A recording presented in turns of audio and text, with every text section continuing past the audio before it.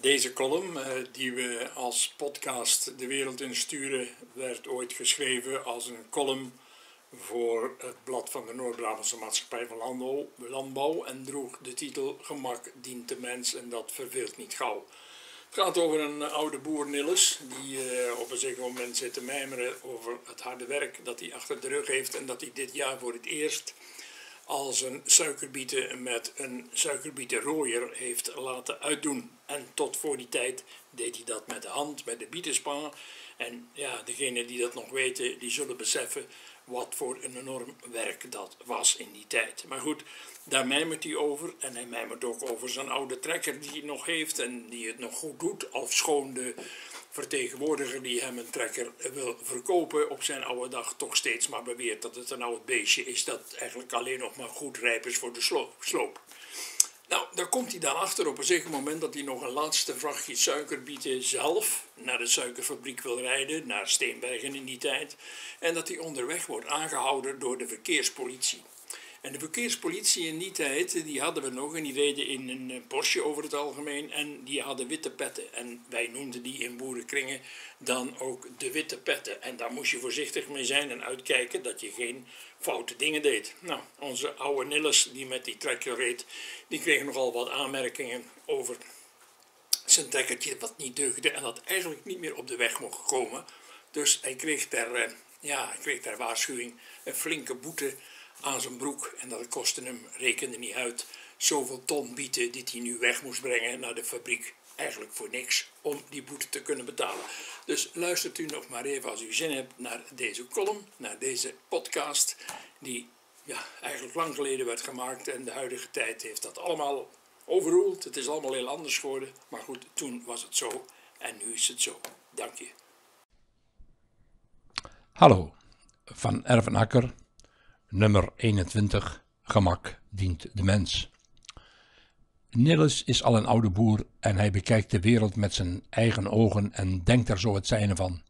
Maar met één ding is hij het eens: de techniek in de landbouw is al ver voortgeschreden. Dat heeft hij dit jaar zelf aan den lijve ondervonden, op een heel prettige manier trouwens.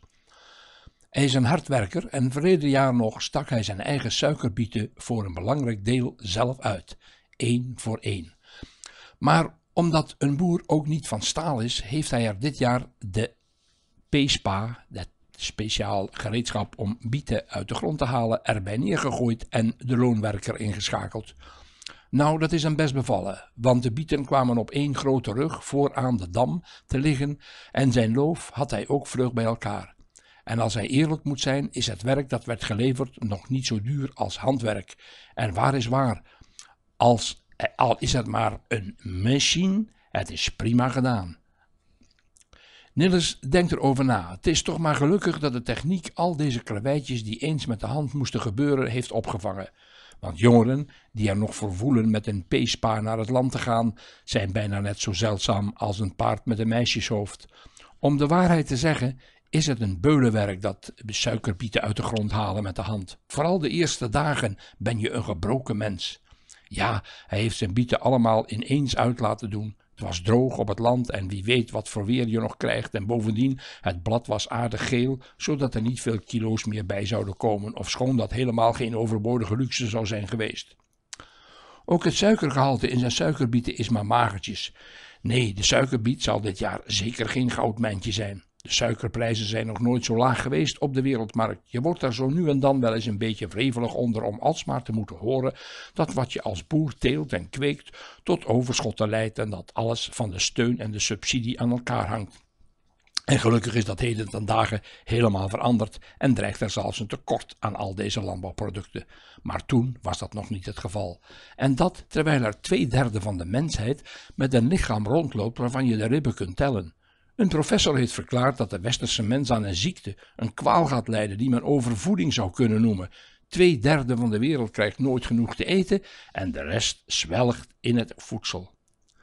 Nilles denkt aan de woorden: In het zweet uws aanschijns zult gij uw brood verdienen. En voor zich ziet hij het beeld van wagens met doorgedraaide groenten, honderden broden die dagelijks voor de varkens worden gegooid of in de vuilnisemmer worden geduwd.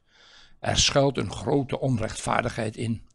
Omdat zijn bieten nu toch uitliggen, heeft hij besloten om ook een vracht voor de vroege levering te brengen naar de suikerfabriek. Vier gulden per ton extra kan hij best gebruiken. Dat is het eerste verdiend. Hij heeft ze zelf alleen geladen. Ongeveer acht ton op de wagen.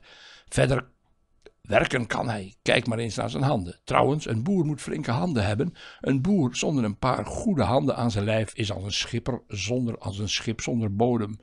En Nilles geeft zijn trekker nog een scheutje gas bij. Het oude ding loopt nog goed. Hij snapt niet hoe die opdringerige vertegenwoordiger steeds maar weer beweert dat het een waardeloze hoop roest is.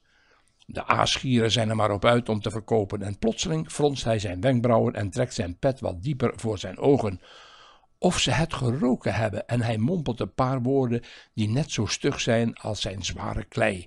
Hij frunnikt aan het knopje van de richtingaanwijzers en draait aan het stuur om te voelen of er werkelijk wel zoveel speling op zit als de brutale vertegenwoordiger steeds beweerde.